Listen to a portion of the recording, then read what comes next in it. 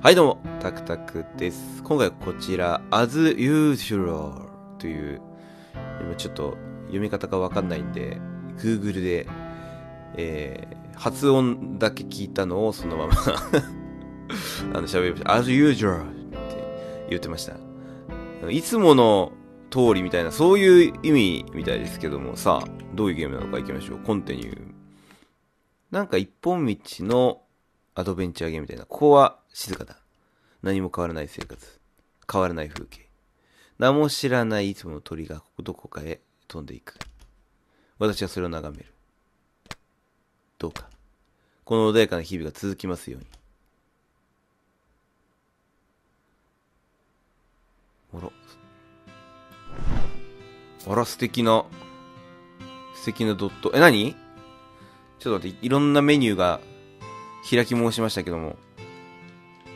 え？妻と娘の写真。あ、これ男性か。どちらももう、いない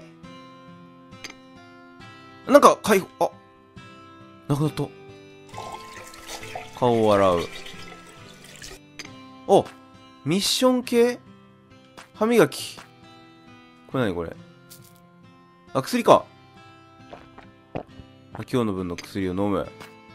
暖炉に薪をくべない火はつかない。この薪は、えー、しけっていて役に立たない。はあ。これ何？あ、何？それは。これ何？これ。これ何持った？何持った？俺何持った？これ何持った？これ何持ってる？これ。カンタライト倒れた。お湯で体を拭くときに使う。俺何持ってる？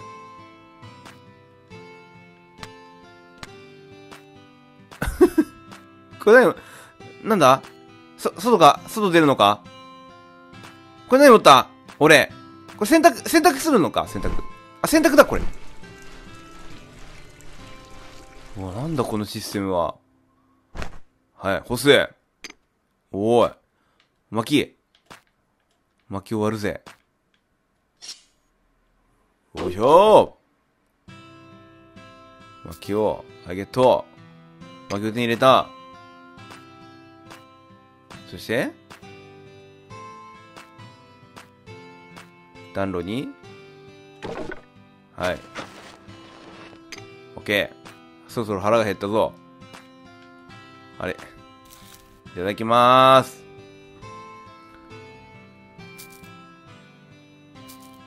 すげえ。めちゃめちゃ綺麗なんだけど、このゲーム。ドットゲー。なんか、布団が何これ？布団、布団のマークみたいな。攻撃で何時が経ったかを把握し、最低限の食事をとり、歯や顔を洗い、妻子に思いを馳せ、剤、え錠剤を流し飲み。なんだあらゆるものを私から遠ざけ、草をむしり、薪を割り、暖炉にくべ、夜間で湯を沸かし、体を拭き眠る。今日もいつも通りに。何?今日で11日目。今日もいつも通りに。えー、うん。ここじゃない？はいはい。お湯を沸かし、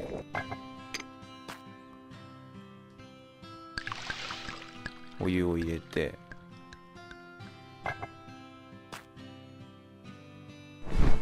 うん。着替えて、お湯で体を拭き、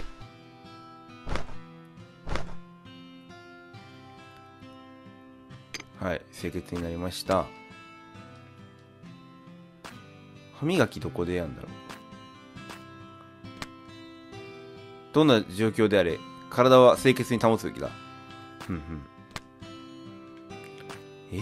なんかまだここでやらなきゃあもう一回ここかな？ゴヒゴヒゴヒゴヒ。はいはい。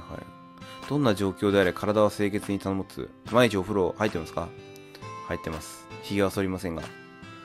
鳥だ鳥、鳥ちゃん。鳥ちゃんどうすんだろう。これ何？これ。え？飛行機。あれは飛行機だろうか。草、草をむしろ、草を。草をむしり、ここの草をむしる必要性って何よ？鳥ちゃんは鳥ちゃん。おーい、鳥ちゃん。あ、こういうこと？なぜに？今日はもうやることがない。ベッドに入って明日を迎えよう。え？いいのかな？おやすみ。どんな生活これ？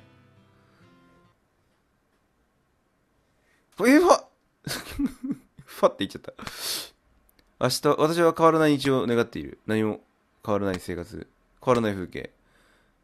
えー、ナムシはいつもの鳥がどこかへ飛んで、それでいい。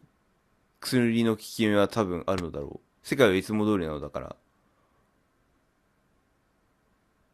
え？ー、少しずつ何か変わる感じ？これの通りやらないといけないみたいな。12日目。今日いつも通り。ちょ、これ順順番にやってみよう、ちょっと。顔を洗う。ちょっとバラバラすぎたからね。はい。歯を磨いて。で、食事ですよ、次は。で、食事。ご飯食べよう。ご飯食べようっと。OK、ご飯食べて。次は薪だな。え鳥が。いつの鳥はもう飛ばないようだ。日常の一部だったから、せめて眺めのいいところに。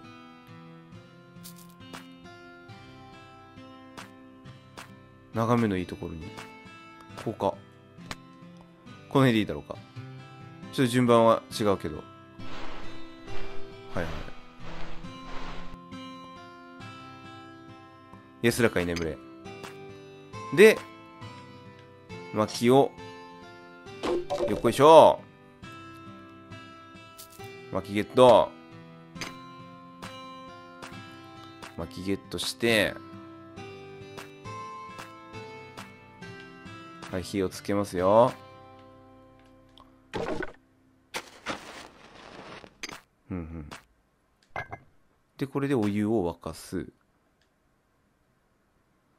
すごい。今のとこ順調。ゴトゴトゴトゴトゴトゴトゴトゴトゴト。でこれではい。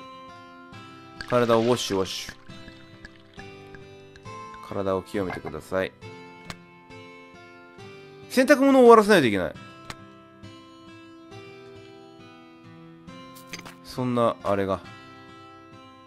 そんな基準があったとは。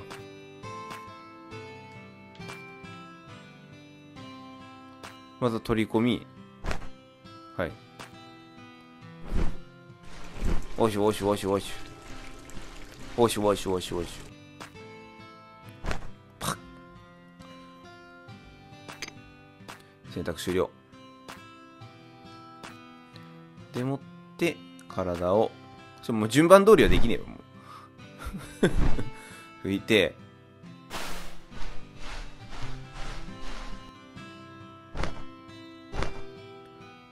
順番通りできる日が来るのかな？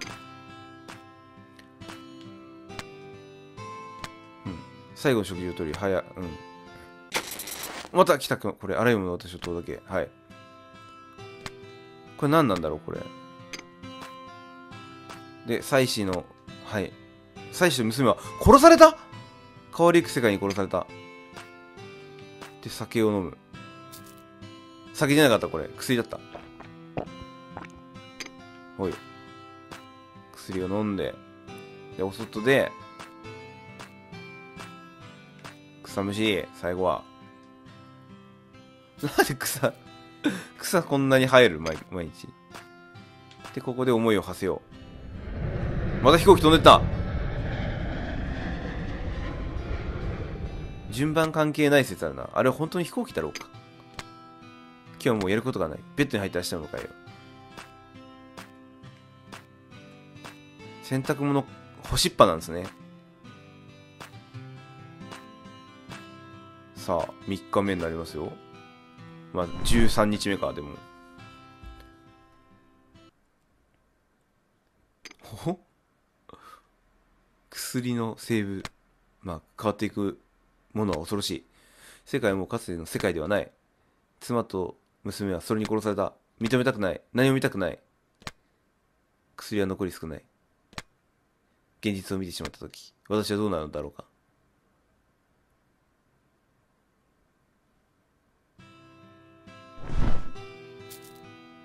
さあ今日も日曜が始まった。13日目。顔を洗う。で歯を磨き。何が変わるのか。薬が消えると。薬だとどんだけあんの？これ。寝る前に薬飲む Are you hungry? Are you hungry? Are you hungry? って言った今。パンとチーズから妙な匂いがしたさすがに古くなってきたのだろうかなんてこったいえ？なんかいるなんかいるよええあの薬は慣れるそうだ。もう効き目はないのだろうか。目を開き全てを認めなければならないのか。なんか落ちてきたんだけど。どんどん風景がおかしくなっていく。木だよね、これね。木だよね。今今日手に入れた。木だったかな？大丈夫かな？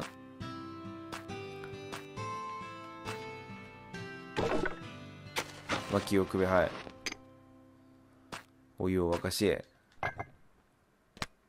あ違ったで先に。ぬるくなっちゃう。いいのか。えなんか赤く赤いお湯なお赤いよお湯が。お洗濯お洗濯。お洗濯しますよ。取り込んで。ワシュワシュワシュワシュ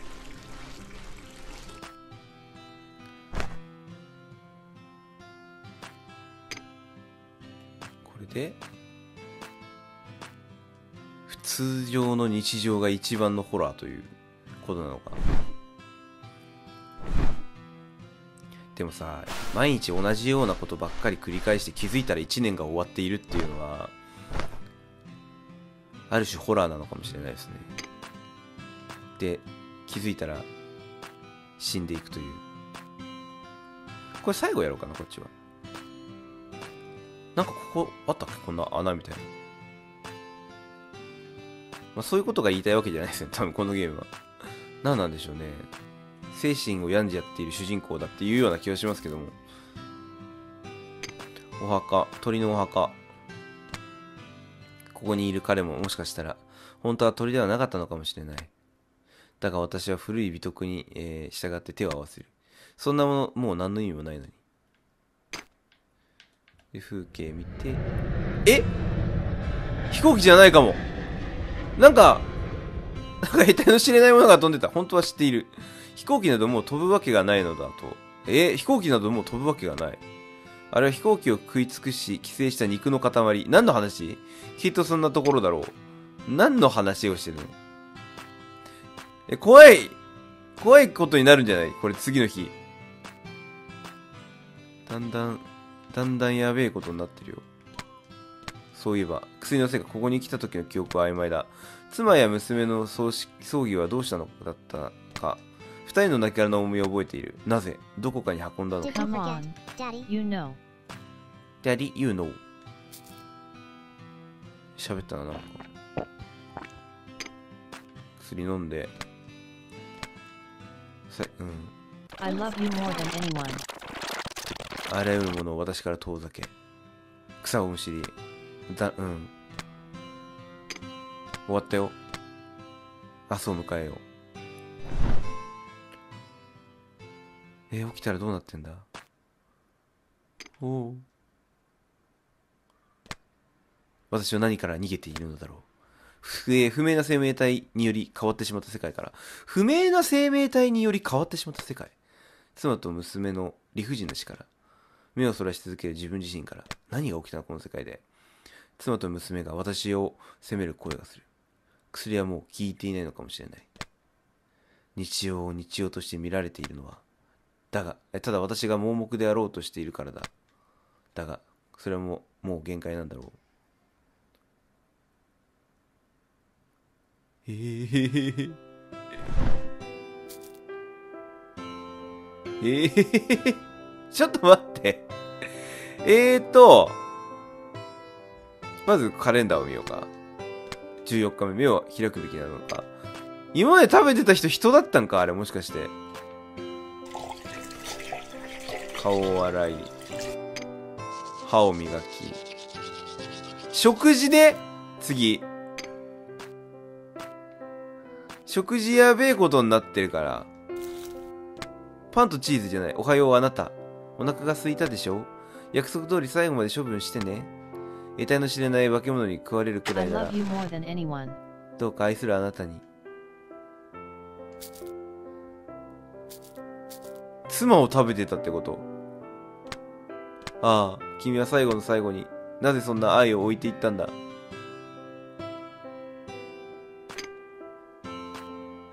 やばい世界観だな。ええー、パパ怖がらないで。目を開けて私たちをちゃんと見てよ。自分の意思で私たちをちゃんと弔ってお願い。おはようパパ。私をバラバラにしてちゃんと全部燃やしてね。約束よ。子供の体を埋葬するために燃やしていた。娘の足を手に入れた。娘の足を手に入れた！どっちにしろもう死んでたということなのね。で娘の足を燃やしお湯を沸かし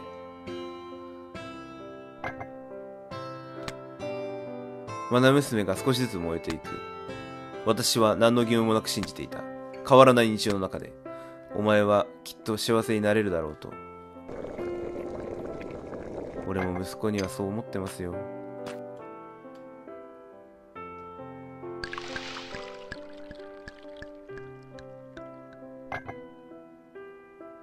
これで洗濯だね。洗濯は血でしてたってこと？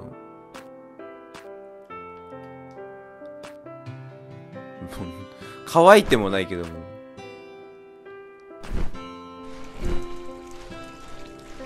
血で血を洗う洗濯物。絞ろうよ。鳥。私が恐れるべきなのは本当にこんなものか。私が本当に恐れるべきなのは変化に耐えきれず必死に、えー平常であろうとする目を閉じ愚行を繰り返す自分自身ではないか。鳥がいなくなりました。体をこれは清潔に保てるのか？これは。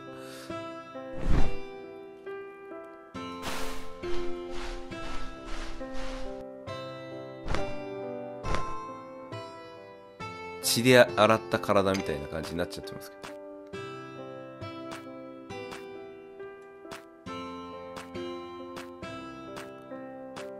このお墓は？命を弔うのは尊い行為である。そんな美徳がもう何の役にも立たないとしても私は自分の意志でこれを続けるだろう。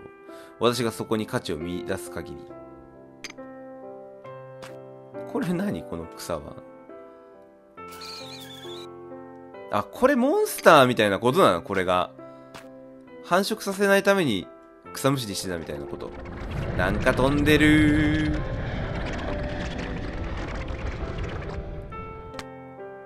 夏になるとよく3人でここに来た。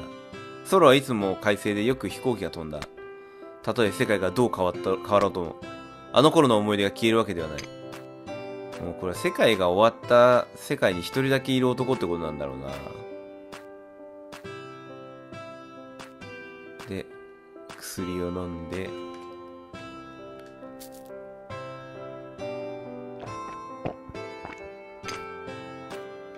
写真を見てえ妻と子は生命を得た車に殺されたほう死の間際妻は私にこう言った私をお墓に埋めないでその墓石が私を食べないって保証がある。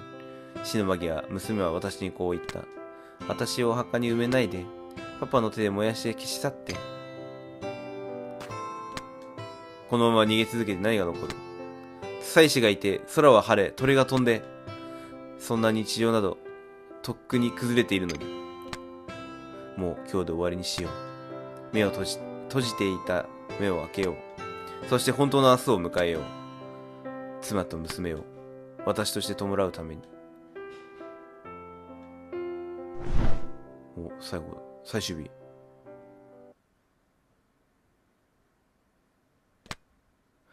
妻の肉を食い、娘を斧で叩き割る日常。私もとっくに化け物になっていたのか。この狂った世界の一部になっていたくせに、それから逃げたつもりでいたのか。私はもう逃げられない。逃げる必要もない。かつてに非日常だった世界が友を呼ぶように私を呼んでいる。その世界にとうとう返事をする私の声は震えていなかったはずだ。大丈夫。多分明日も晴れるのだろ.う。いつも通りに。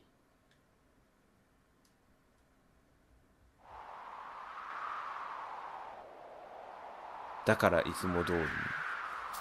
あ、二人のお墓がついに出来上がった。でもお墓に入れないでって言ってたけど、この二人はいないんですよね、ここには。墓標だけがあるという。娘は燃えて消え去り、あ、鳥が来た。妻は自身の体に取り込んでいったと。